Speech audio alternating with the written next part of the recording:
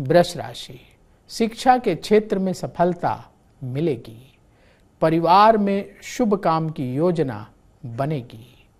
घर में धन का आगमन होगा। आपका सम्मान और बढ़ेगा। सुख शांति के लिए किए गए प्रयास सफल होंगे।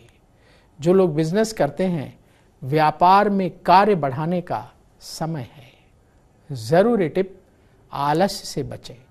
शुभ रंग सफ़ेद उपाय ओम नमः शिवाय मंत्र का 108 बार जाप करें।